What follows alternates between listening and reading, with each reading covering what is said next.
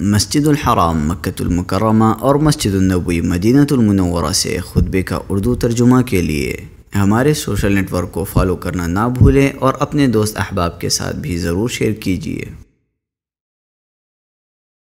खुतबा जुमा, मस्जिद नबूई शरीफ, बतारीख छब्बीस जुलहिज्जा, चौदह सौ चवालीस हिजरी मुताबिक चौदह जुलाई दो हज़ार तेईस।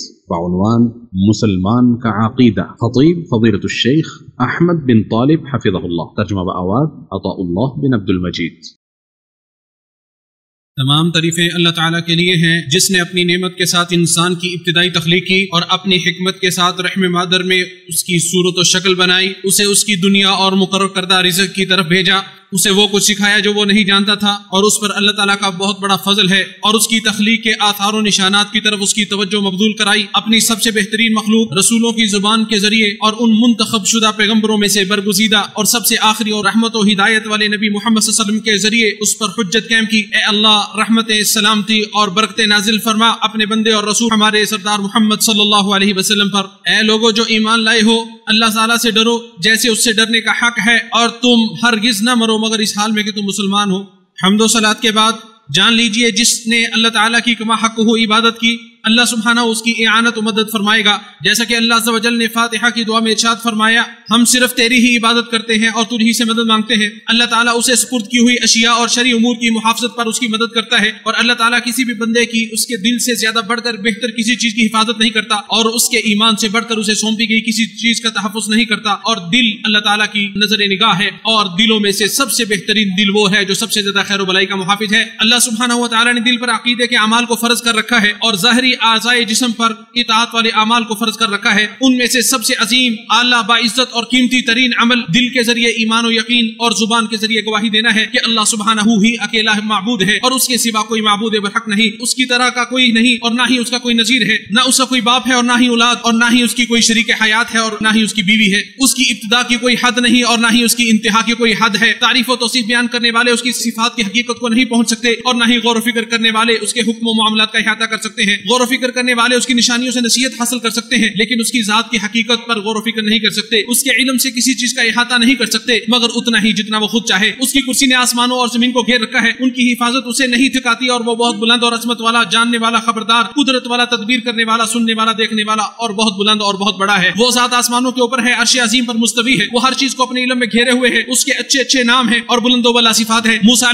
से उसने कलाम की, पहाड़ पर उसने तजल्ली डाली तो वो उसकी जलालत हैबत से रेजा रेजा हो गया। कुरान करीम अल्लाह ताला का बरहक कलाम है, जिसे उसने अपने इलम से नाजिल किया, खबरों की तस्दीक करने और अहकाम में अदल इंसाफ के एतबार से उसे मुकम्मल किया। इंसान को पैदा किया और वो जानता है जो इंसान का नफ्स बस वसे डालता है। वो शाहरक से भी ज़्यादा करीब है और कोई पत्ता भी नहीं गिरता जिसे वो ना जानता हो और ना ही ज़मीन की तारीखियों में कोई दाना है जिससे वो बाखबर ना हो। और तर और खुश जो कुछ भी है, सब एक रोशन किताब में मौजूद है। वो हर चीज़ को उसके वजूद से पहले से जानता है। उसकी तकदीर के मुताबिक ही उसकी खैर शर, हलावत मिठास और कड़वाहट का इजरा होता है। वो अपने अदल से जिसे चाहता है, गुमराह करता है और रुसवा करता है और जिसे चाहता है, अपने फजल से हिदायत देता है और तोफी बख्शता है। बंदों का कोई कोलो फेल उसके फैसले के बगैर सादर नहीं होता और उसे उसका इल्म पहले से ही इलम होता है। किसी का नेक वक्त होना और बदबख्त होना भी उसके लिए अल्लाह ताला के हिसाब का इल्म तकदीर के मुताबिक ही होता है। ऐसा नहीं हो सकता कि उसकी बादशाह में उसके इरादे के बगैर कोई चीज़ वकूफ पजीर हो जाए या कोई उससे बेनियाज हो जाए। वो बंदों का परवरदिगार है और उनके अमाल का भी परवरदिगार है। उनकी हरकत सकनात और उनकी उम्रों को मुतयन मुकर करने वाला है। उसने हजत कायम करने के लिए उनकी तरफ़ पैगंबर मबूस किए हैं। उनकी वजह से उन्होंने जान लिया कि क्यामत आने वाली है। जिसमें कोई शक व शुबा नहीं। और अल्लाह ताला कब्रों में मदफून लोगों को उठाएगा। जिस तरह उसने उनकी इब्तदा की, उसी तरह वो दोबारा पैदा होंगे। और अल्लाह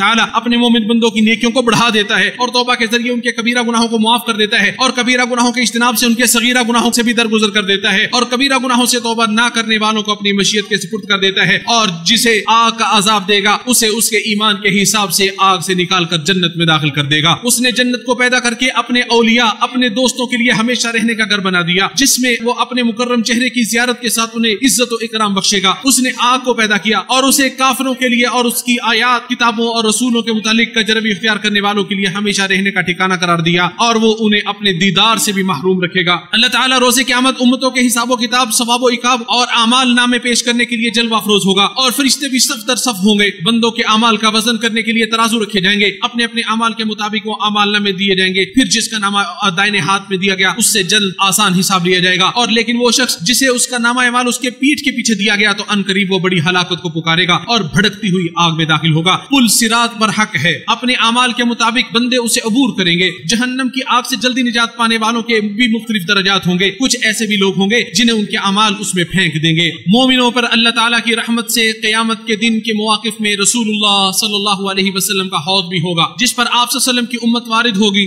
उससे नोश करने वाला कभी प्यासा नहीं होगा। ईमान को कुफर में और इत्तिबा को बिदात में बदलने वालों को उससे दूर रखा जाएगा। अल्लाह के यहाँ निजात अहले ईमान की होगी, जिन्होंने ज़ुबान से इकरार और दिल के इखलास के साथ यकीन और आजाए जिसम के साथ अमल किया होगा। कौल के बगैर कोई ईमान नहीं, अमल के बगैर कोई कौल नहीं, नीयत के बगैर कोई कौल फेल नहीं और सुन्नत की मुआफत के बगैर कोई कौल, फेल और नीयत नहीं है। एक ही कबीले की तरफ़ नमाज़ अदा करने वाले मुसलमानों में से किसी को किसी गुनाह के इर्तिकाब की वजह से काफिर नहीं कहा जा सकता। इल्ला ये कि ईमान के मुखालिफ कोई कौल अकीदा या कोई फेल अंजाम देने वाला हो और शहीद होने वाले अपने रब के पास ज़िंदा हैं, उन्हें रिस्क भी दिया जाता है। सआदतमंद लोगों की रूहें नेमतों में बाकी रहती हैं और बदवक्त लोगों की रूहें अजाब में मुबतला होती हैं और तमाम के तमाम दोबारा जी उठने के दिन तक बरसख में होंगे। कब्रों में मोमिनों की आजमाइश होती है। रब, दीन और रसूल के मुतालिक उनसे सवाल किए जाते हैं। इर्शाद बारी ताला है। ईमान वालों को अल्लाह ताला पक्की बात के साथ मज़बूत रखता है। दुनिया की ज़िंदगी में भी और आखिरत में भी और अल्लाह वो ही करता है जो वो चाहता है। जमानों में से सबसे बेहतरीन जमाना उन लोगों का है जिन्होंने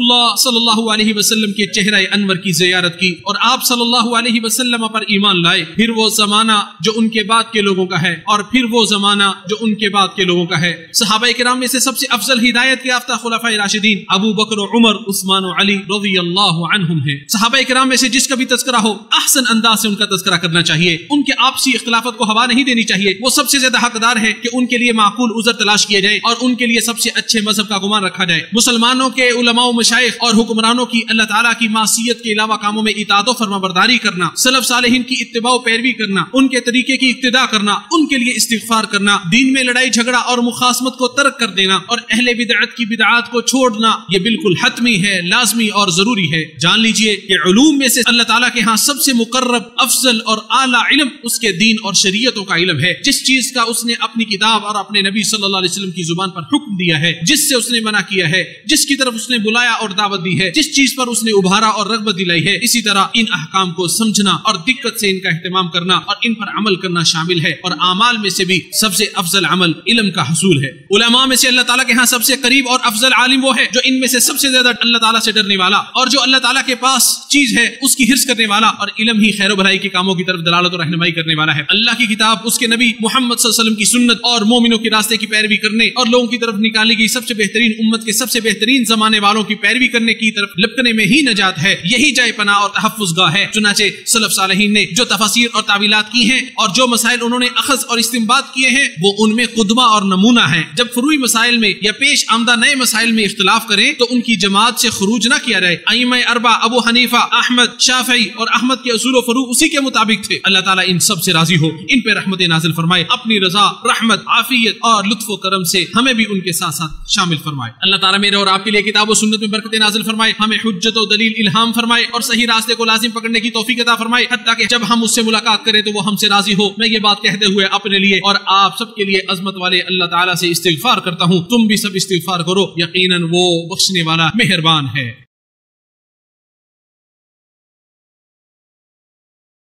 तमाम तरीफे, तमाम जहानों के पालनहार अल्लाह के लिए हैं, जो गैब हाजिर को जानने वाला है, निहायत रहम करने वाला, मेहरबान है, बादशाह है, निहायत पाक, सलामती वाला, अमन देने वाला, निगेबान, सब पर गालिब, अपनी मर्ज़ी चलाने वाला, बेहद बड़ाई वाला, पैदा करने वाला, वजूद बख्शने वाला और तस्वीरें बनाने वाला है, जिसने फुरकान हमीद को अपने बंदे पर नाजिल फरमाया, ताकि वो जहान वालों को डराए। वो जात है जिसके हाथ में जमीनों, आसमानों की बादशाहत है, जिसने ना किसी को बेटा बनाया और ना ही उसकी हुकूमत में कोई उसका शरीक है। उसने हर चीज़ को पैदा करके उसका ठीक ठीक अंदाज़ा मुकर किया। अल्लाह रहमत सलामती और बरकत नाजिल फरमा। अपनी मखलूक में से सबसे बेहतर हस्ती हमारे सरदार मोहम्मद पर। इशाद बारी डाला है ए ईमान वालो, अल्लाह से डरो और दुरुस्त बात कहा करो। वो तुम्हारे कामों की सलाह कर देगा और तुम्हारे गुनाहों को माफ़ कर देगा और जो अल्लाह और उसके रसूल की तात करेगा, वो यकीन बड़ी कामयाबी से सरफराज होगा। हम दो सलाद के बाद अल्लाह ताला ने रिसालत और नबूवत और लोगों को डराने का सिलसिला पहले और आखिरी लोगों के सरदार नबी वसल्लम पर मुकम्मल किया, जो तकवा वालों के इमाम, हमारे सरदार, हमारे आका पेशवा, हमारे आइडियल, हमारे हबीब, हमारे रब के खलील मोहम्मद बिन बिन अब्दुल्ला बिन अब्दुल मुत्तलिब, हाशमी, कुरैशी, मक्की हैं, जो बतहा मक्का में पैदा हुए, जिनके आने से रोशनियाँ फैल गई। आपको वही बेसत मिली और आपका चर्चा फैला। हिजरत, दावत की तालो जिहाद, वफात मलय आला की तरफ़ मुंतकिल होने के लिहाज से आप मदीनी हैं, सल्लल्लाहु अलैहि वसल्लम, जिन्होंने मदीना की पाक सर ज़मीन को सकूनत के साथ शर्फ बख्शा और वही आपका मदफन करार पाया। अल्लाह ताला आप पर और आपकी आल पर रहमतें और सलामती नाजिल फरमाए। आप सब नबियों के बाद आने वाले, लेकिन लोगों में से सबसे पहले आपको उठाया जाएगा। पहले अंबिया के नक्शे कदम पर चलने वाले, आप तौबा और रहमत के नबी हैं और आप जंगों की ताल वाले भी हैं, जिन्हें अल्लाह ताला ने खुशखबरी देने वाला और डराने वाला बनाकर मबूस फरमाया और अल्लाह के हुक्म से उसकी तरफ़ बुलाने वाला और रोशन चराग बनाकर भेजा। आप वसल्लम पर उसकी, उसने किताब हकीम को नाजिल किया और आपके ज़रिए अपने दुरुस्त दीन की वजाहत की और आपके ज़रिए सिरात मुस्तकीम की तरफ़ रहनुमाई की। आप वसल्लम मोहम्मद भी है और अहमद भी। अल्लाह और उसके फरिश्तों और अपने भाई पैगम्बरों के यहाँ और तमाम अहले ज़मीन के यहाँ महमूद भी है, जो ईमान लाकर आप